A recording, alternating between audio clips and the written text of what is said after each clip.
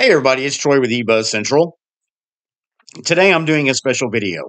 I had a comment the other day on my GNOME Boxes review, and the comment basically was, it would be nice if Windows 11 would run in GNOME Boxes. So, what I did was opened up Windows 11 installer in GNOME Boxes, installed it, and I am presently running it. And not only that, I've downloaded some programs and we're going to run it through some tests.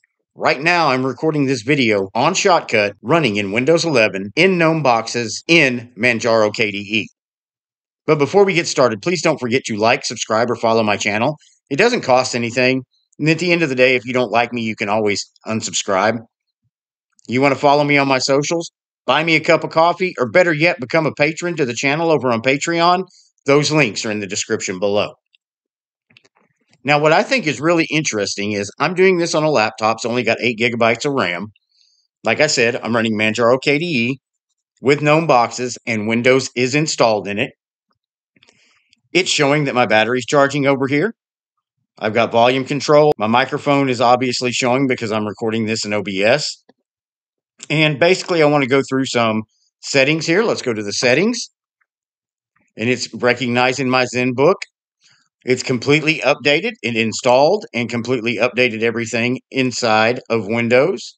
But you have all your system settings, display, you can adjust your display.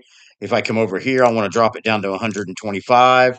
I can drop it down to 125. My resolution's is 1920 by 8, 1080.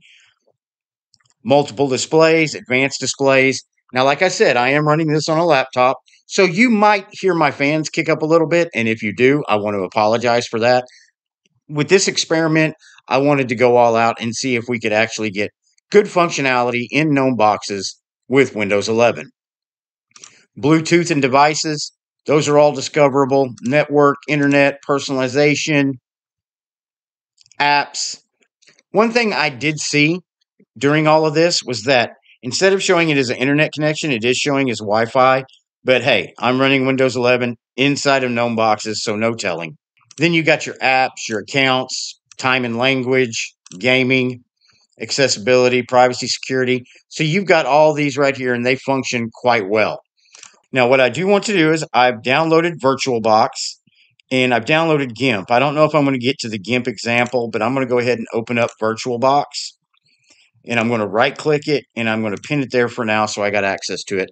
And I'm going to try to run a virtual machine inside of Windows 11 installed on GNOME boxes running on Manjaro KDE. So we're going to go ahead and go new. We're going to come over here and we're just going to call it Linux and go next. We're going to issue it two megabytes of RAM. Next. Do not add a virtual disk because we're going to run it in live mode. And it'll say you're, yes, we know that. Okay, so there's my base system. Let's go ahead and open up settings. System, we're going to leave it at 2 megabytes. Processor, we're going to give it 2. Uh, don't got to worry about acceleration. Display, I'll go ahead and leave that at 16. That should be fine. And then I've downloaded add Devuan Beowulf. Let's choose that and click OK. And let's go moment of truth and see if this thing will fire up. And we'll go ahead and go live mode. And let's go full screen. Now, I'm expecting to have display problems with this, but we will see. I'm not really sure. And there it's opening up. Let's go up to applications. Let's find settings and display. Let's see if we can adjust doesn't have doesn't seem to be showing 1920 by 1080. So let's try 1680 by 1050. Okay, that seems to be working well. Let's go ahead and close that. Let's go back up to application menu. Internet. Let's try to open a browser. Okay, and Firefox has opened up. Let's just do a search for eBuzz Central. And there's eBuzz Central. So it's working. So that experiment definitely went better than I thought it was going to. Let's go ahead and view. Let's go full screen mode and let's close, power off the machine. Okay. And okay. Next, I want to show you mail. I went ahead and preloaded some mail. Okay. I'm going and showing you some deleted items because I don't want you to see my main mailboxes. But over here, I have all three of my email accounts in here. They are linked. Matter of fact, I got a new email as we speak. But as you can see, everything's showing up over here. Mail is running just fine. Got some Twitter notifications, something from GNC. But like I said, I didn't want to show you my main mailboxes. You've got your calendar down here. The calendar will open up and you can use it. And then your contacts, switch to a to do list, and then your settings for mail. So mail functions and operates just fine. We'll close out of that. You've got chat, widgets, you got desktops, you've got your search. I do see a little flicker on my recycle bin every now and then. I don't know what that could be, but who knows? Maybe I could fine tune some of the adjustments there. And I downloaded GIMP as well.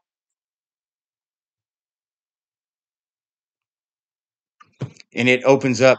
Everything is going really smooth, really fast. Windows 11 runs awesome in GNOME boxes.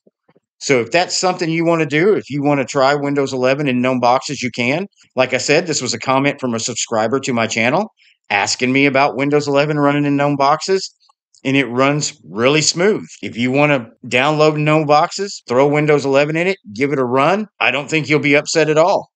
If you're somebody that loves Linux but has to have Windows around for some reason, for some piece of software or for a job or whatever you might need it for, this is a good answer have Linux on your main machine, download GNOME boxes, throw Windows 11 in it, and use it when you need to.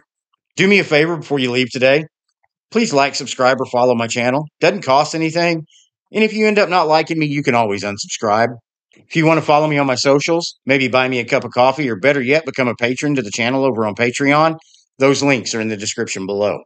Thank you for watching my video, and I will see you in the next video.